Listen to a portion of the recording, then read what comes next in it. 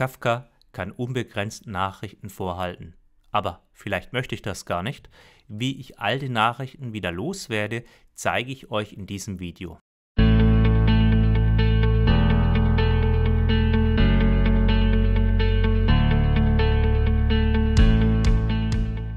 Bisher waren Message Broker nur Zwischenspeicher und mit Kafka sind wir in der Lage, alle Nachrichten zu behalten, die jemals an den Broker geschickt wurden. Das können sehr viele werden, aber wir können ja beliebig Festplatten einfach dagegen werfen und auf diese Weise halt dann unbegrenzt Speicherplatz zur Verfügung stellen. Aber vielleicht wollen wir das gar nicht und möchten irgendwann mal einen Teil der Nachrichten loswerden. Wir sehen jetzt hier so einen äh, Strahl von Nachrichten, eine Liste von Nachrichten vom Offset 0 bis 10 und wir könnten jetzt einen Teil einfach wegwerfen. Nehmen wir mal an, einfach mal hier diesen linken Teil von 0 bis 7 und einen Teil den farbigen behalten. Das ist in Kafka möglich. Zum einen über die Zeit, zum Beispiel, dass ich sage, alles, was älter ist als 24 Stunden, ein Monat, ein Jahr, 90 Tage, vielleicht eine ganz schöne Sache für die Vorratsdatenspeicherung, das möchte ich nicht behalten. Oder dass ich sage, ich möchte nur ein Terabyte, ein Gigabyte äh, behalten und alles andere kann Kafka löschen. Dafür gibt es einen Mechanismus, der lehnt sich bei Kafka Log Retention. Der ist einstellbar. Äh, diese Log Retention würde im Hintergrundjob durch einen Hintergrundjob ausgeführt, so dass wir nicht extra Ressourcen dafür brauchen. Das heißt, wenn sich Kafka langweilt oder der Rechner langweilt, dann wird immer mal wieder überprüft über ein Intervall, das wir einstellen können, ob da noch was da ist, was man löschen kann und dann wird diese Bereinigung oder dieses Löschen durchgeführt.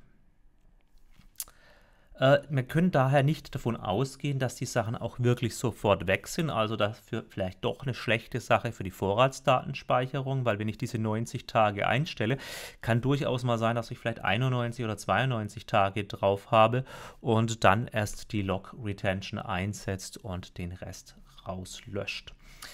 Äh, in diesem Fall hier, wenn wir einfach äh, abschneiden, dann verlieren wir jetzt natürlich auch die Zustände von einigen Keys. Also hier im Speicher könnte ich jetzt das Business-Objekt mit dem Key 3 und mit dem Key 4, die könnte ich jetzt wiederherstellen oder die finde ich, aber von 1, 2, 4 von diesen Keys ist der Wert verloren. Und dafür gibt es in Kafka auch einen Mechanismus, der nennt sich Log Compaction. Und wie das Log Compaction funktioniert, das wollen wir uns jetzt hier mal am Beispiel anschauen. Wieder der gleiche, das gleiche Topic mit den elf Nachrichten von 0 bis 10. Wir sehen jetzt wieder farblich die gleichen und wenn wir jetzt hier drauf schauen, sehen wir, dass es zum Beispiel vier Nachrichten gibt mit dem Key 4. Äh, in diesem Beispiel haben wir für jede dieser Nachrichten das komplette Business-Objekt auf den Bus gelegt. Also in diesem Beispiel ein Artikel. Jedes Mal sind es die Pineapples und äh, was sich jeweils geändert hat, ist immer nur ein Preis. Der Trick dabei ist, jetzt nicht nur die Preisänderung auf dem Bus zu liegen, sondern das gesamte Business-Objekt. Und jetzt haben wir den Verlauf des Business-Objekts in der Zeit, wie es sich verändert hat. Das möchten wir vielleicht gar nicht. Vielleicht möchten wir einfach nur den aktuellsten Stand haben und Plattenplatz sparen sparen. Also wir könnten eigentlich äh, das Business-Objekt hier mit Offset 9 behalten und die anderen an Offset 0, 2 und 5, die könnten wir löschen. Das können wir natürlich auch für die anderen Keys tun. Und wenn wir jetzt von jedem Key nur die neueste Nachricht behalten, dann würde das Ganze so aussehen. Und wenn die anderen entsprechend rausgelöscht würden, dann hätten wir so ein Topic mit jeder Menge Lücken. Das ist aber kein Problem, wenn ich das nullte, die nullte Message lesen möchte, äh, dann verschiebt sich der Cursor entsprechend und die nächste Nachricht, die ich dann lese, ist die mit dem Offset 3 und ich werde auch dann informiert, dass es in dieser Nachricht, dass das die Nachricht ist an dem Offset 3. Ja, das ist Log Compaction. Mit Log Compaction, wie gesagt, da können wir den aktuellen Zustand behalten. Das geht auch in Richtung äh, Event Sourcing. Der Bus enthält den Zustand aller meiner Systeme, weil alle Veränderungen über den Bus gehen. Und äh, wenn ich immer die neueste Nachricht habe, kann ich mit diesen Nachrichten jetzt den aktuellen Stand rekonstruieren. Nicht die Historie, sondern nur den aktuellen Stand.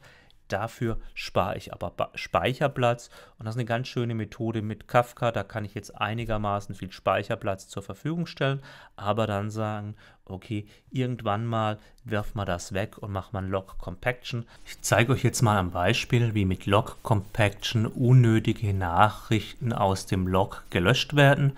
Dazu präpariere ich jetzt speziell ein Topic. Ich lösche zuerst das Topic Produktion, falls es noch da sein sollte.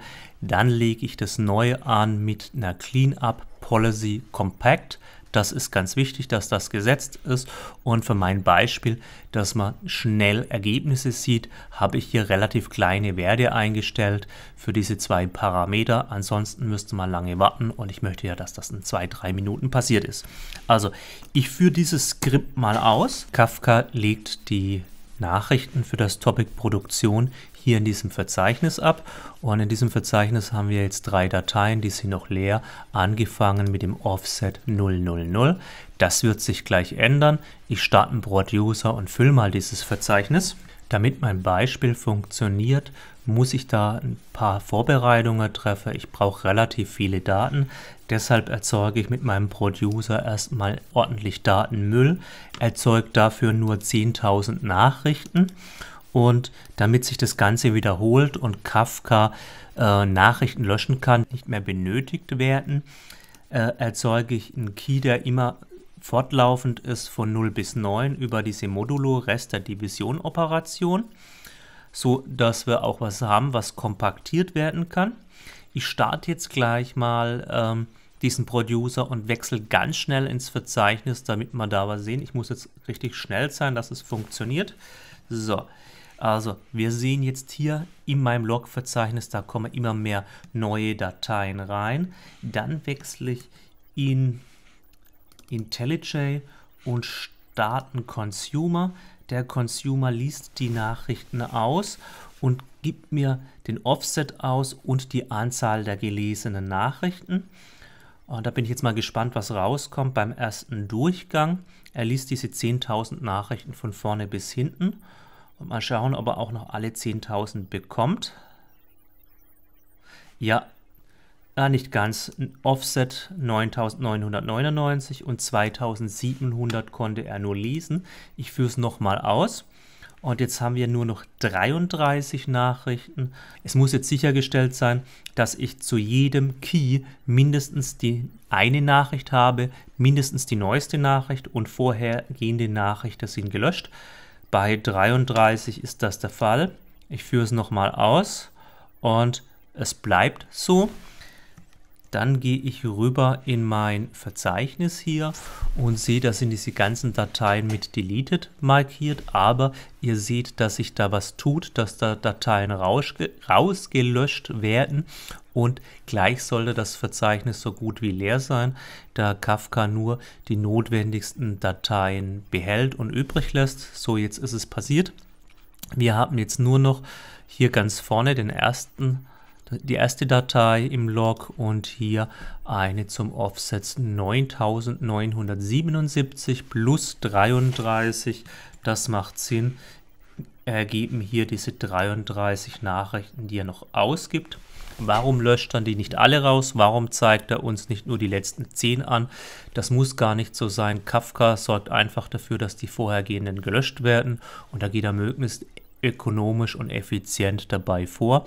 Wenn ich die Nachrichten jetzt noch viel, viel, viel größer mache, dann kann es sein, dass da nur 10 übrig bleiben. Wenn die Nachrichten recht klein sind, kann sein, dass er hier noch tausende von Nachrichten hat, aber den Großteil der Datenmenge löscht daraus.